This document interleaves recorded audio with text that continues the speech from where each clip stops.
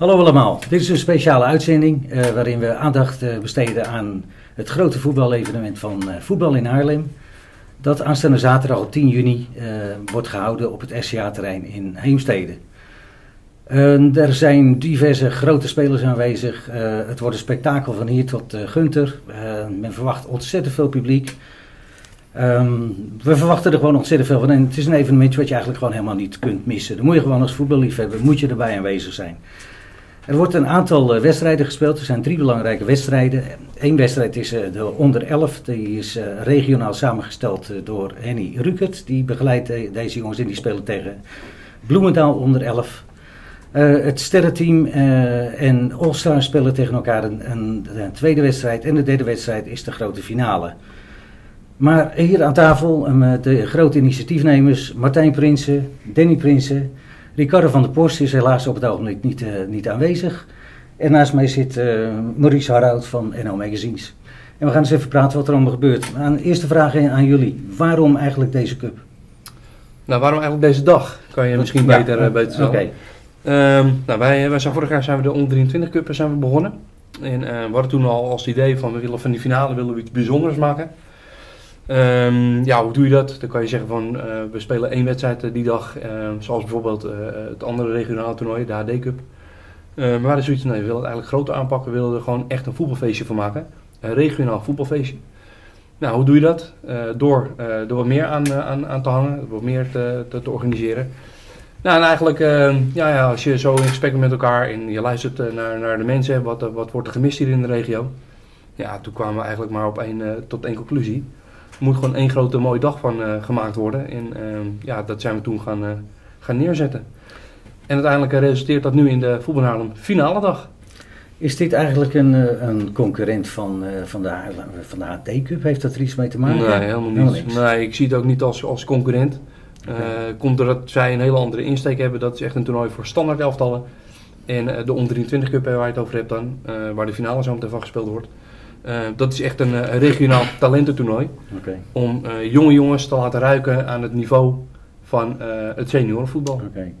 Hey Danny, jullie zijn volgens mij al vanaf januari bezig met het zoeken naar spelers waarbij jullie allemaal een goede speler uit één bepaald team uit de regio willen halen. Heb je, hoe groot is dat nu? Hebben jullie nu 17 spelers? ons team bestaat uit 17 spelers, ja? twee trainers en een teammanager en een verzorger.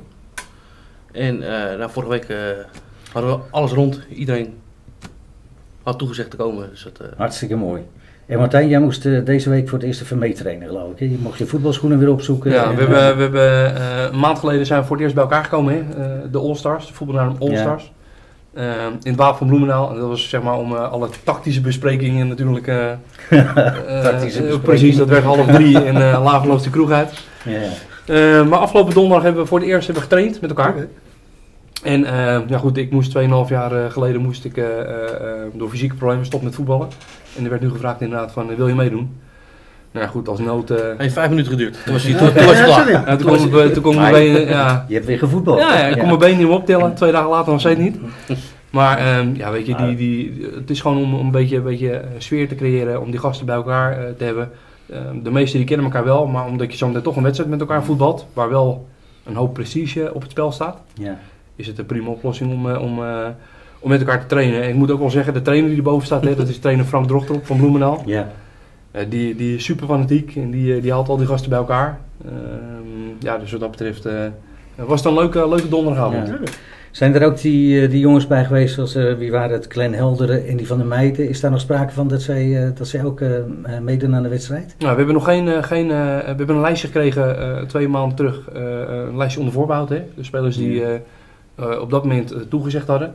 De definitieve lijsten die kunnen we uh, hopelijk donderdag of vrijdag bekendmaken. Nou, ik heb op jullie site een immense lijst zien staan van, van deelnemers. Er zitten een paar hele grote namen, of althans grote namen, voor mij grote namen bij. de bekendste voor mij is natuurlijk Geert-Jan maar ja, er zijn maar, nee, maar, dat, maar dat, dat is zeg maar waar je nu over hebt. Hè. we hebben de voetbalnaam All Stars, dat zijn er 17 spelers van verschillende clubs. Ja. Die hebben wij geselecteerd en die gaan voetballen tegen het RTL 7 sterrenteam. Yeah. En daar zitten inderdaad jongens bij dan, oh, okay. als een, een Andy van der Meijden, maar okay. ook een uh, presentator als uh, John Williams, Charlie Luske, uh, Bas Muis, we hebben nog een zanger. Uh, Jody Bernal. Okay, uh, precies, ja, ja, ja, inderdaad, ja. Nee, het is een, Peperstraat zit erbij. maar ook oud-voetballers. op doel staat de Oscar Moens. Dat is natuurlijk die, de oude keeper van Nederland zelf al. Oh, dat is leuk. Uh, het is een, een, een, een aardige uh, groepje, denk ik. En daar moeten we ons zeker niet in gaan vergissen. Oké, maar laten we eerst met de eerste wedstrijd beginnen. Dat is uh, regionaal onder 11. En die Rukert heeft het samengesteld. Die heeft een aantal spelers uit diverse teams gehaald en bij elkaar gezet. En die speelt tegen Bloemendaal onder 11. Bloemendaal onder 11 is volgens mij best een sterk team. Dat is in de regio. Als, als Henny iets samenstelt, dan wordt het meestal ook wel een goed team. Ja. Weet jullie wie eraan meedoen bij, bij Henny in zijn team? Nou, de, de spelers zelf niet, zeg maar, althans bij mij niet bekend. Ik weet wel welke clubs er vandaan komen, want het zijn allemaal verschillende clubs ook uit de regio die, uh, die daar meewerken. DSS, HFC, HBC, Allianz onder andere. Uh, en die, uh, ja, die vormen één team en die gaan er dan opnemen tegen Bloemendaal als uh, voorwedstrijd voor de wedstrijd All-Stars. Uh, okay. Hey, maar voor de duidelijkheid, de jongens weten toch wel dat ze moeten spelen? Ja, ja, ja. ja, Oké, okay, dat is duidelijk. ja, dat is spannend En die is er toch ook al bij, neem ik aan. En die is er zeker bij. Oké, okay, handig. Uh, het programma begint om 12 uur, dacht ik. Maar is er nog, zijn er nog spectaculaire dingen die eraan vooraf gaan? Nee, het hek gaat open om 11 uur. Dan, uh, dan kunnen de mensen naar binnen. Uh, om 12 uur beginnen we inderdaad dan met die, met die we noemen het dan een voorwedstrijd. Hè? Dat heb je natuurlijk vaker, dat die jeugdelftalletjes dat, dat doen. En dan om 2 uur de, de grote klapper. Ehm, voor het grote publiek, denk ik, dat we het zo mm. kunnen zien. Yeah. Maar na die wedstrijd, tussen de All-Stars en het RTL 7 sterren team, hebben we voor ons een heel belangrijk duel klappertje. En niet alleen voor ons, maar ook voor Emuiden en voor United Davo. Dat is namelijk de finale van die onder 23 Cup waar ik ja, over ja. ja. En uh, nou goed, dat begint om 4 uur. Dan is de prijsuitreiking om 6 uur. Uh, de, de, de hoofdprijs die gaat uitgereikt worden door uh, onze hoofdsponsor Beltona. de, de, de, de, eigenaar daarvan die komt langs en die, die komt de cheque en de, de beker overhandigen. Is de, en, club, de club of de beker met de gouden oren of alleen grote oren? Die, nou, hele grote oren. Grote oren. Ja, hele grote beker. Um, en dan om, om uh, daarna barstte het, het feestje los. Goed, en daaromheen hoor, de, voor de kindertjes uh, worden er ijsjes worden er uitgedeeld. Het is gewoon een leuke dag met een, met een zangetje en een DJ en een, een barbecue'tje. Alles op en eraan. In de afgelopen, wat is het, 19, 20 uitzendingen die we van Voetbal in Haarlem hebben gehad met de talkshow, we hebben natuurlijk ook veel aandacht besteed aan United Davo en aan IJmuiden. Ja. Oké, ze ontmoeten elkaar nu in de finale. Wat voor kansen geven jullie? Of ben ik nou uh, te vroeg om te vragen wat jullie daarvan gaan denken? Nou ja, ik zou het eerlijk waar niet durven zeggen. Ik denk dat die twee teams heel erg aan elkaar gewacht zijn. Uh, ze schuwen allebei de duels niet. Ze klappen er volop. Uh, zijn heel enthousiast. Het, het, stoom komt bijna uit de oren voordat de wedstrijd begint. Voor de wedstrijd? Ja, want die, die gasten zijn er klaar voor. het zijn natuurlijk allemaal jonge honden, hè? Ik bedoel, dat moeten we niet vergeten. Nee, nee, het is natuurlijk iets anders. Er lopen geen routiniers van 35 jaar bij. Uh, dus het gaat wel. Daarnaast is het ook zo, de teams die lijken vrij veel op elkaar. Ze hebben allebei een, een spits die doelpuntjes makkelijk, uh, makkelijk maakt. ze hebben allebei echt een goede keeper op goal. verdediging, vooral in het centrum, staat bij allebei als een huis. goede centrale middenvelders. Ja, ik, ik, ik durf niet te zeggen wie, wie er zometeen met de prijs vandoor gaat. Maar is wat denk jij? Ja, ik zit even na te denken. Wat, wat staat op het spel buiten die beker? Uh, de, de, uh, de hoofdprijs uh, wat, wat uh, beschikbaar gesteld is door Beltona, uh, is een complete nieuwe kledingset. Ja? Ja, een uh, wedstrijdtenu. Um, en daarnaast is de, de nummer 2 die krijgt een, een ballenpakket. En dan hebben we ook nog een prijs voor de topscorer van het toernooi. Dat is op dit moment Floris van Dam met 10 treffers. Ja, en die speelt nog mee? Nee, die speelt niet meer mee. Okay, en de nummer, maar de nummer, de nummer 2, ja, Joshua ja. Dominguez van Muiden, die staat dus in de finale. Oké. Okay. Hij, loopt er drie, hij, hij loopt er drie achter. Ja, hij loopt er drie achter. Ja, Oké. Ja, dus dat wordt nog een aardige klus voor hem. Maar bij United loopt er ook eentje. Dat, uh, dat is Fren, nee, uh, Frenzo Lewis. Ja, die, die uh, loopt er vier achter. Dus er zijn nog... dat is wel leuk, de spelers zijn behoorlijk aan elkaar gewaagd. Dus het is al niet bij voorbaat bekend. Nee, nee, nee, nee, En hoe zit het verder? Kijk, is het ook verlengen en penalties? Of is het gelijk penalties? Of? Ja, het is gelijk strafschoppen. Dat hebben we het hele toernooi gedaan. Ja? En dat, dat is nu ook het geval. Op het moment dat, dat het na 90 minuten gelijk staat, dan gaat er uh, twee keer vijf straf, uh, twee keer vijf straf. Geen verlenging? Nee. Oké. Okay. Nee. nee, goed programma natuurlijk. Nou ja, we hebben het in eerste instantie gedaan omdat we uh, de competitie niet als een extra belasting willen laten, laten meewegen, zeg maar. Omdat het natuurlijk al best zwaar seizoen is, helemaal voor de jonge jongens. ja goed, en hoe we het hele seizoen de regels gehanteerd hebben, zo zouden we dat ja, volgen. Kunnen we deze, deze dag eigenlijk ook zien als een complete afsluiter van het hele voetbalseizoen van, uh, van dit jaar? Ja, het heet eigenlijk uh, ja, het heet niet voor niks uh, de, de finale dag, hè? Ja, de finale dag. En, en daarna is gewoon echt alles helemaal... Dit is, nou ja, het is eigenlijk volgende week al over. Op de, op de velden inderdaad wel, voor ons niet. Hè? Ik bedoel, wij hebben weer genoeg te doen in de voorbereiding naar het nieuwe seizoen. Okay. Maar ehm, ja, ik, zie, ik zie ook op de kaart staan seizoensfinale. Ja. Nou, dit, dit, we, we, eindigen met een, met een klapper dit jaar. Top. Het zijn mooie kaarten.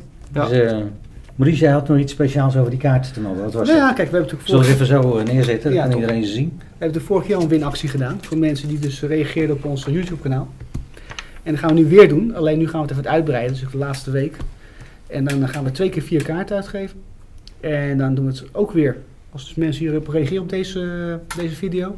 kunnen ze een prijs winnen. En misschien dat we ook met Facebook erbij doen. Dus we maken het iets spannender.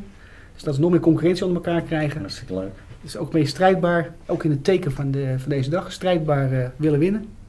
Dus ja, ja wij gaan dat uh, weer doen, want we ondersteunen we graag. Het is natuurlijk toch een uh, 023, dat is Haarlem. Ja. Ik ben echt ja. een mug, dus ik vind het fantastisch. dus ja, dan gaan we natuurlijk echt ondersteunen. Dus. Ja, ja. dus ik hoop met een gans hart dat het gewoon een topdag wordt. En daarvoor hebben we deze kaart ook ter beschikking gesteld. Heel tof. Ja. Nou, jullie hoofdsponsor die doet dan voldoende met de shirts. En uh, de tweede prijs ook. Hebben jullie al veel sponsoren die, uh, die aan die dag meewerken? Ja, we hebben wel een aantal, aantal sponsors die gelukkig die dag mede mogelijk maken. denk aan, dan aan, een, aan een slagerij van de Werf die met een barbecue gaat staan. Denk aan, aan Bejuna. Ehm, ja goed, zo zijn, er, zo zijn er heel veel verschillende sponsors die die dag komen helpen. Pronto uit Hoofddorp komt de ijsjes uitdelen. Ja. Uh, ja, we, we, we, we, we doen dit niet alleen, laat dat, uh, laat dat duidelijk zijn. Uh, uiteindelijk is de, de eindorganisatie natuurlijk wel bij ons, maar wel met hulp van gelukkig een aantal, aantal partners. Okay. Ehm, iedereen die kent onder andere het blad Libro natuurlijk wel, Libro ja, Magazine. Ja, die, die zijn gelukkig ook aanwezig om er een mooi verslag van te ah, maken.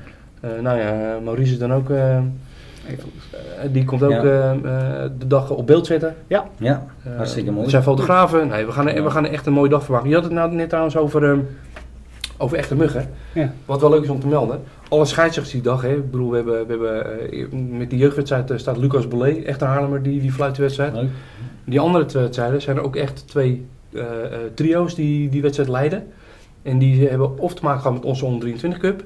Of het zijn scheidsrechters die op, op een andere manier met de regio verbonden zijn. Ah, maar alles staat die dag in het teken van uh, het regionale voetbalfeest. En uh, dat moet het, uh, moet het met, met, elkaar moet het dat gewoon echt, echt gaan worden. Zullen we dan ook maar vanuit gaan dat het regionaal echt prachtig weer wordt? Ja, dat zeker. dat ook. Ja. Ja, het ziet er goed uit tot nu toe. Dus. Nee, laten we er maar vanuit gaan. Dat lijkt me geweldig. Ja. Hebben jullie verder nog iets uh, heel speciaals uh, om hier aan toe te voegen? Iets wat we zijn vergeten te melden? Nou, het feit dat er heel veel mensen moeten komen? Ja, er is wel nog iets. Uh, er zijn nog kaartjes aan de deur verkrijgbaar. Okay. Dat kan ik nu al, nu al met zekerheid melden. Um, dus mochten opa's en oma's uh, bijvoorbeeld willen komen kijken naar hun, hun kleinkinderen, of uh, er lopen ook zometeen uh, met de All-Stars en de RTL 7 team lopen de kindjes mee het veld op als begeleiding. Oh, leuk. Altijd leuk ja, voor opa's en oma's om, ja. om te komen kijken. Ja. Er zijn kaartjes de deur verkrijgbaar. Dus wat dat betreft geen, geen nood aan de man. Oké, okay, geweldig. Dat is allemaal geregeld. Ja, en je ziet nog BN'ers ook. Dus, ja, nou, dat is natuurlijk het leuke ervan. al die meiden. Ja, ja, ja, inderdaad. Al die meiden komen, dan wel veel jongens. Al die soapies. het ook wel. Ja. Oh, zo moet zien. Zo ik het al. Het wordt een fantastische dag in ieder geval. Ja, komt allen. Ja. Komt allen. Komt allen. Nou, ik denk dat we daar het beste mee kunnen afsluiten. Komt allen naar deze geweldige dag. Het belooft in, inderdaad een geweldig spektakel te worden. Vele, vele goede voetballers aanwezig. Drie hele belangrijke teams, uh, wedstrijden die worden gespeeld. Kortom, een dijk van de dag met prachtig weer, 25 graden. Lijkt mij uitstekend. Zullen we het daar gaan? Ik teken het hoor. Oké okay, mannen. Hey, hartstikke bedankt en ontzettend veel succes zaterdag. Dankjewel. Dankjewel.